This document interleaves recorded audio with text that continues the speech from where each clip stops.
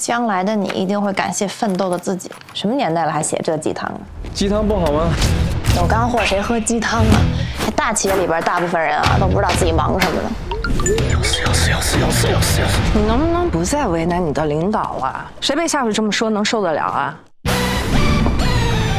出问题了，我们底层员工背锅，让他自己背锅，自己辞职。出成绩了，我要高层领导抢走。哎，下面执行的。是是。尤其公司那些耍官腔的、拍马屁的。咱俩这关系，我叫你什么哥哥不为过吧？还有靠关系进公司混的。那你能替我写吗？您这地位还需要自己写吗？我为你肝脑涂地。你愿意当我徒弟，那太好了。谁关系进来的？别傻。他们有能力把公司搞垮，就有的是办法搞我们。别跟我画大饼，没意思。回家了啊！切记早退。别跟我摆资历，没意思。